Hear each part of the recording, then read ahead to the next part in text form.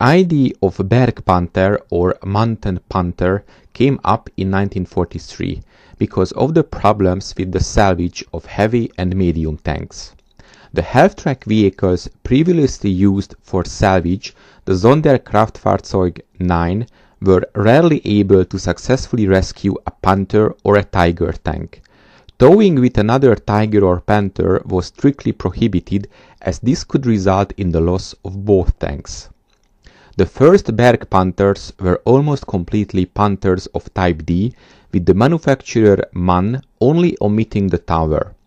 A specially produced stub of the Berg Panther was largely similar to that of the Panther, with the modifications of the G version being adopted at the end of 1944.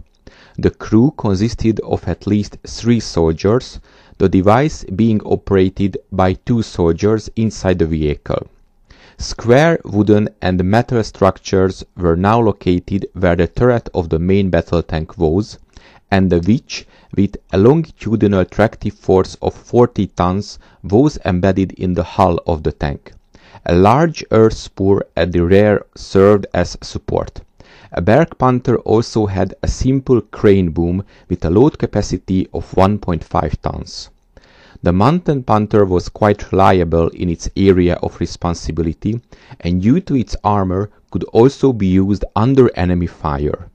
Even the heavy Tiger and its variants could be easily recovered by the Mountain Panther with its winch.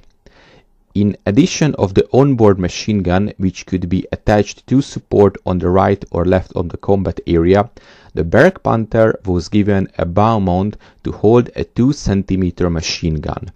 However, this ceased to exist in the course of 1944. With the changeover to the tub shape of the Panther G, the Berg Panther received the usual MG ball screen on the radio side. The MG support of the driver's side was also eliminated. From 1943 to 1945, approximately 339 Mountain Panthers of all types were produced for the German army. Thanks for watching, please subscribe and support my channel on Paypal.